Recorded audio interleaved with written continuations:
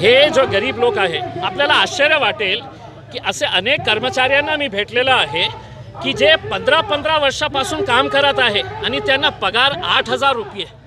आठ हजार रुपये पंधरा वर्षापासून.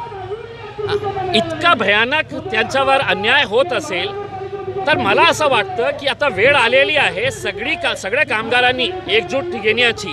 सगळं विसरून द्या तुम्ही कोणत्या पक्षाचे आहे कोणत्या जातीचे आहे कुठे काम करत आहे मी कोण आहे काय आहे.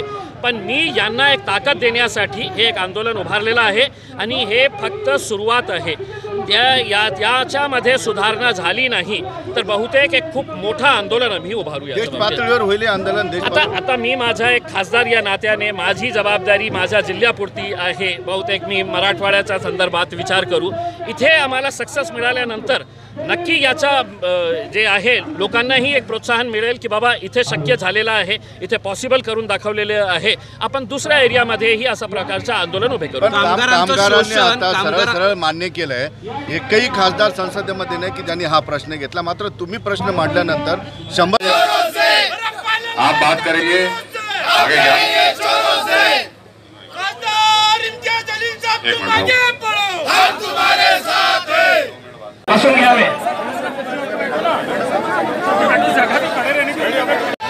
राजेंद्र जोदे. राजेंद्र जोदे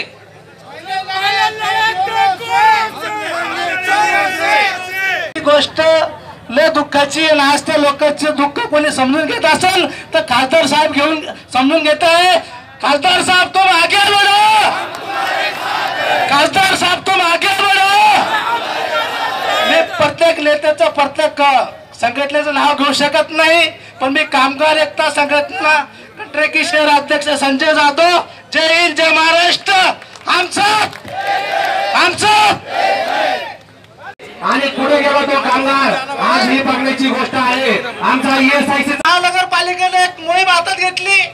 औरंगाबाद शहर स्मार्ट सिटी आहे. स्मार्ट सिटी शहर कोणाच्या जीवावर आहे? कामगाराच्या जीवावर.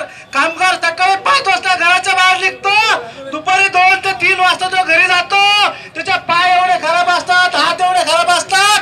तरी तो पंचवीस ते तीस वर्षापासून मी असा कोणताही आमदार खासदार बघितलेला नाही की ज्यांनी कामगाराच्या न्याय हक्कासाठी हे धरणे आंदोलन केलेले आहे. काल मी साहेबांच्या मीटिंगमध्ये होतो. साहेबांच्या. तर त्यांचे जर मी विचार ऐकले.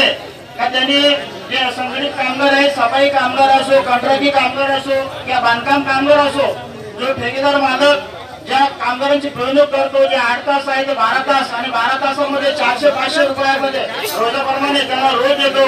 अशा ठेकेदार मार्गाचं सर्वप्रथम मी धिक्कार करतो. कारण की ही कामगारांची पिळवणूक आहे. तर या पिळवणीसाठी आमच्या माननीय खासदार साहेबांनी जे आंदोलन ठेवलेलं आहे त्यांचा मी जाहीर पाठिंबा देत आहे आणि मनापासून मी त्यांचं स्वागत अखिल महाराष्ट्र कांगन संग- संगठना के अध्यक्ष सलीम शाह साहब अपनी बात पाँच मिनट में रखें ये तमाम मेरे पदाधिकारियों से पार्टी के कार्यकर्ताओं से रिक्वेस्ट है कि आप बैठ जाएँ। खासदार साहब का आदेश है। बहुत सारे लोग पीछे सुन रहे हैं, लेकिन उनको आपके खड़े रहने से नहीं दिख रहा है। आपसे विनंती है कि आप बैठ जाए प्लीज़ प्लीज़ बैठ जाए। फैयाज भाई, आप प्लीज़ इधर आ जाओ ना यूट्यूब वाले। प्लीज़